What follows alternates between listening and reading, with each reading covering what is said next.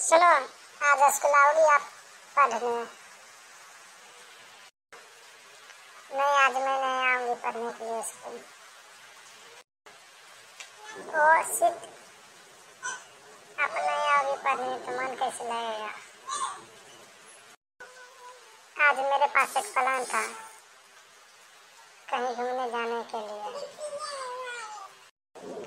ठीक है बाबा, जब तुम बोलते हो तो आज स्कूल आऊँगी पढ़ने के लिए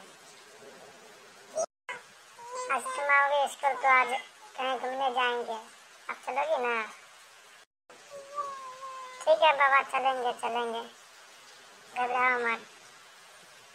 हाँ मगर घर वालों को मत बताना, किसी को भी मत बताना। नहीं तो घर वाले बहुत मार मारेगी ठीक है तो फिर चलते हैं, मिलते हैं स्कूल के बाहर। Okay, bye.